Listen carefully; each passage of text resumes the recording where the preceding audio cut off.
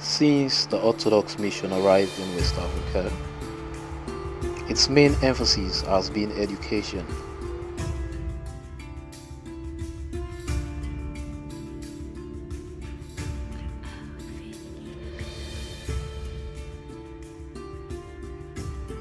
Sierra Leone has been one of the countries that have benefited from such gestures.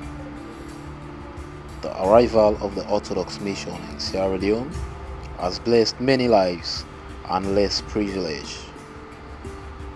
The mission has constructed educational facilities in key areas of the country.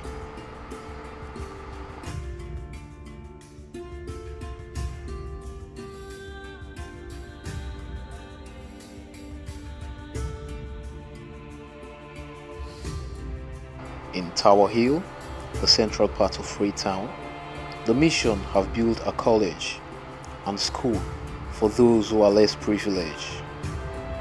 These facilities are modern structures that are constructed to suit the educational system.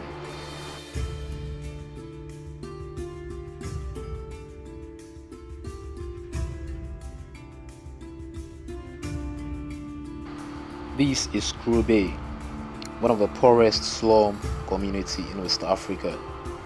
The mission has also constructed a modernized school structure for the children living in that community whose parents cannot afford to send them to school.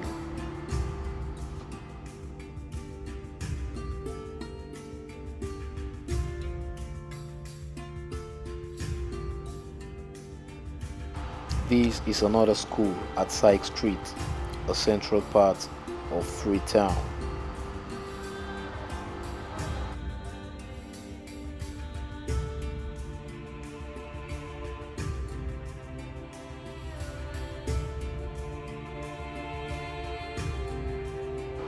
And also in Waterloo, the mission has constructed a primary school and also a kindergarten.